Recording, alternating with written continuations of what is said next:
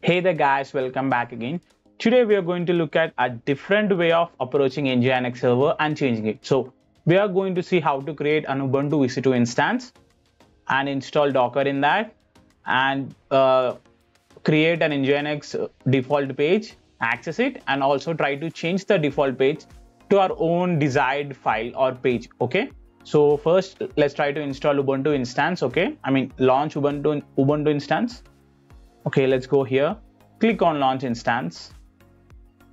Give a name. Uh, let's go with nginx u practice. Okay. Now click on ubuntu because that's the operating system we want. Leave everything as default here because we are going for the free tier account so that's why.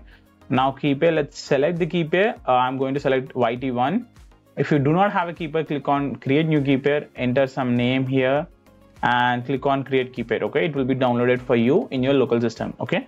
Now coming to here you need to allow http and https here because we are going to access nginx on the internet right? We will be accessing on the internet using https request. So click on edit here again because we need to change this. You can rename this or leave it like that only. Https anywhere https anywhere. So it looks fine okay? Now come down storage leave it as default because you are not going for the big, big project right? Number of instances also one leave it. Now click on launch instance. So it will be created. Just wait for some time. And now wait until and now wait until it comes into running state okay? Okay finally it it is running. Now let's connect it to a local system. You already know how to connect right? So now go here for the connect to instance, go into SSH client. I am trying to connect it to my local system because it's much easier for us to do the work in that. And now open PowerShell and go for the directory where our file .pem file is downloaded and just paste this link over there in that directory. It will ask for access. Click on, I mean, type yes. Just wait for some time. Boom, it is connected. Now, in this Ubuntu instance, we need to install Docker and access Nginx page through that particular Docker container. Okay. Now, let's first of all, let's update it sudo apt update. Okay. Now it will be updating the packages. Okay. From here on, we'll be going copy pasting because if we type each and every one of them, it will take a lot of time. So what we'll be doing is here, this is the process we'll follow. Ubuntu instance has been created. We have updated the file. Oh shit, that command is actually wrong, I guess. But it still worked anyway. Okay, let's do it again anyway for our safety purposes. Okay, let's update it again. Okay, now, okay. So it's updating again, differently this time, okay. Now, let's go with the second step, which we need to install Docker.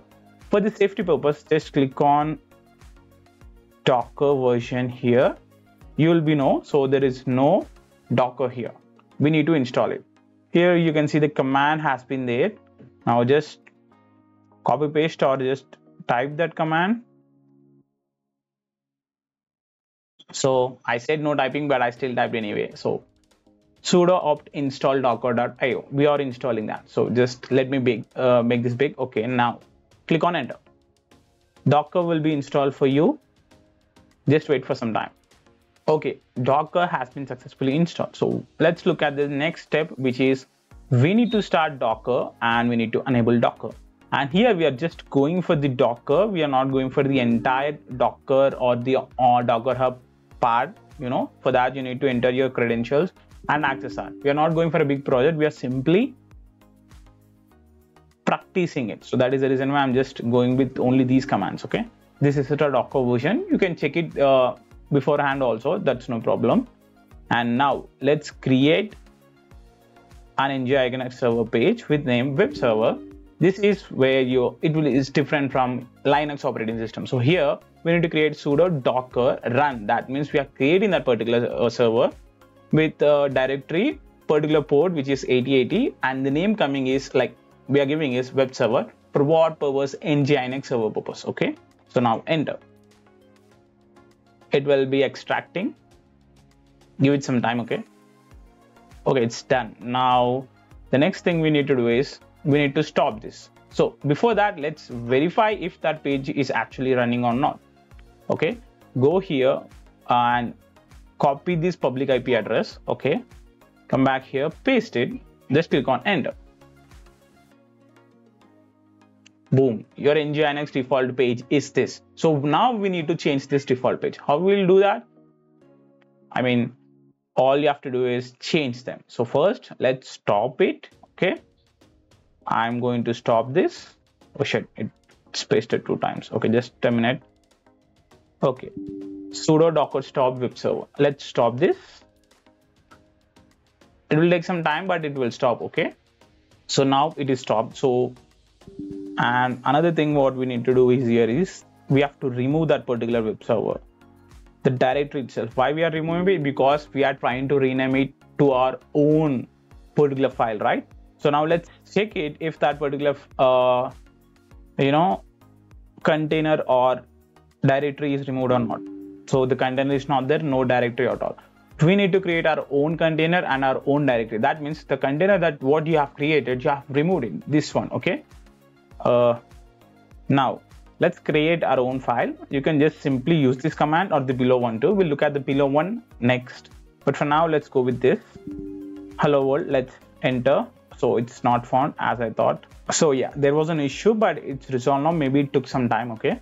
Now let's look at that page if it is running or not. So all you have to do is we will create another like we have to run it again okay? I'll explain this what exactly this is sudo docker run just simply like that. The before one we are running it on a directory with port 8080 okay? Now here pwd means the present working directory which is the root page of uh, nginx server which is slash user slash share slash nginx slash html slash index.html this is uh, this particular index.html file is the one we are changing okay? The default page we are trying to change.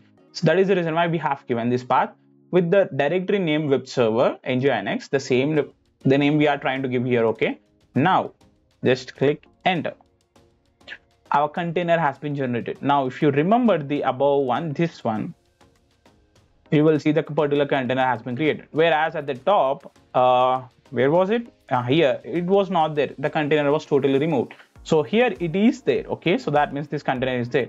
So now this is there. Now what we try to do is let's go back here refresh it it's changed. How it is changed? Because i have given the command hello world over here. Where was it? Hello world over here. So that's how you create an ubuntu ec2 instance install docker in that and change the default page of nginx server using this process. And also let's look at the other one that i told you right? If you remember this. What happens if we use this one? The cat command this is the file end of the file and the particular command or the code that we have typed over here. Okay now okay i'm sorry. Let's paste it here okay and click enter. But i don't want hello world over here. Let's remove that. Okay just give me a minute. Okay now we'll copy this again. Just control c here enter. Okay i need to change that hello world okay so it's changed. Now let's refresh it and check. It's changed. So that's how you change your default nginx page. So i hope this video has helped you a lot. And if you have liked this video subscribe for more content like this. And if you want any specific video about aws or data analysis you can mention in the comment below. I will check them and i'll try to make a video on that too. So i'll see you guys in the next video. And also do not forget to terminate this particular instance. Okay do not directly terminate this. Close all the windows of whatever instance you try to use. It doesn't matter to me so that's why i'm doing it. Okay? This is done. Now also follow me on my instagram. I recently crossed the mark of 380 i think it's 400 now. So i'm hoping to reach uh, 500 soon on youtube too but it's still not easy for me. So if you subscribe it will help me a lot and it will motivate me to do more content like this and also i can do more premium services on aws so that's why i need to have a lot of subscribers and engagement too to do more content like this. So i'll see you guys in the next videos until then bye bye